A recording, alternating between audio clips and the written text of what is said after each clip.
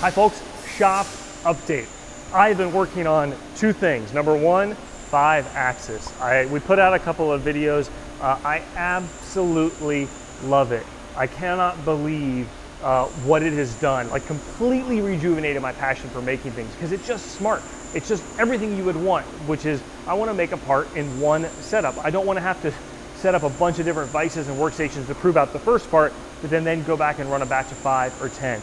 Um, it also really ties into what I love, which is that kind of programming element of CAM, of turning it into like a video game or a challenge. You do so much more in the CAM, and it really requires a lot of critical thinking because on a traditional three-axis part, you're usually, it's usually a pretty normal progressive workflow of a combination of of roughing strategies, finishing strategies, and drilling. On the five axis, you're really mixing that up.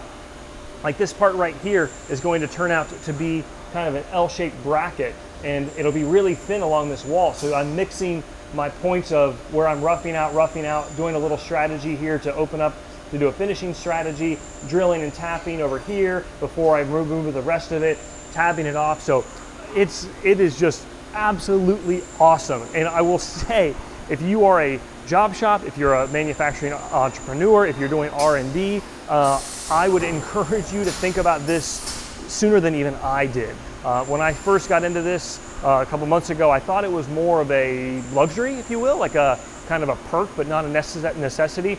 Totally disagree now. Um, just absolutely love it. The thing I'm working on a lot is improving my five axis workflow. So what does that mean? I'm trying to get our templates built out for what those strategies look like with not only the tools, but also the CAM strategies. And we'll share those on the NYC uh, website for the members but I'm also trying to really standardize the tool library. It's much more important to do that here, uh, in my opinion, than on a three axis because the gauge length matters and the stick out matters. And you can see we've started to tool up the machine and we've got some different types of tools. Like I've got a slitting saw from Maritool. It's actually carbide. It's really awesome. Uh, and we've got a lot of longer gauge length tooling. I'll show some here offline in a second. Um, and then we picked up some different kind of tools for us. Like that right there is a three quarter inch, uh, one inch flute length, but it's a relieved shank with four and three quarter inch stick out. It's a helical tool. It is amazing what that tool can do. I am totally blown away at how much more rigid uh, something is that's a carbide solid shank, which actually does make a lot of sense. You think about a traditional end mill, even a modular or insert tool, most of the time those shanks are steel, not carbide. They have carbide options, but most of the time they're not being carbide is way stiffer. Solid is more stiffer than having the flutes. It's amazing. Um, we've been going a lot for now with the five inch uh, ER16s from Maritool, uh, more for general purpose. I think in the future we will get more into shrink fit and hydraulic. We have a YG1 hydraulic here. It's 3 8 inch. It's not too long, but it should be quite helpful uh, and useful for those strategies. But what I want to do is I want to stop setting up tools to some extent. And uh, this was really something that my buddy Amish over at SS CAD Cam had uh, mentioned to me some time ago, which is that if he sets up, say, a 632 tap, that, that tap gets a holder with a collet or whatever the mechanism is, and then it doesn't come out. So you end up over investing uh, or spending a fair amount more money in holders, but the time savings is huge because we're gonna use more 440 taps, 632 taps, uh, 1 16th end mills, but I don't always need that in the machine or I don't have the tool capacity. And so knowing that you've got the right tool, the right length, the right stick out, the collet is already kind of reserved for it, uh, I think that's a trade-off that's worth doing. And we can grow it over time. You know, for now we'll get maybe five or 10 extra holders and we'll have those taps set up or those small end mills or their bull nose and we'll have them in a, a cart here. We'll keep them labeled so we know what it is. Uh, but I really like that idea of, of that workflow. We got some new relatively inexpensive shop tools that are going to be prove to be really awesome. Uh, we got a digital refractometer because we're checking our Brix now just about every day on multiple machines. To me, it's a, it's a bit faster to do it this way and it just feels nicer. Um, and we got a really amazing microscope. This deserves its, uh, its own video Microscopes are an amazing tool though, and I know we've talked about them a lot on both the business of machining and various videos, and I'm excited to finally have one that I absolutely will un unabashedly recommend, uh, and it's not that expensive, so that's exciting. Running fixture plates right now. That is for a Haas TM2. We've got one more on the machine right there, and we're running uh, spacers for our DeWalt fixture plate and actually it was pretty nice. Jared and Josh have been running it and these are 416 stainless and you were saying that across this batch it's just dead nuts. Five tenths. Yeah, like uh, across quite a few dozen or hundred of these, the machine is holding really good tolerances, which is really nice. Uh, that's kind of what you want. You want to be able to pick a job back up, get it dialed in once and hit run and go. So that made me happy.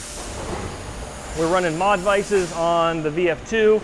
Uh, those are still done in three setups on the vertical. The thought is we may move those to the UMC eventually, uh, but for now they're happening here. And Ed is working on Johnny 5.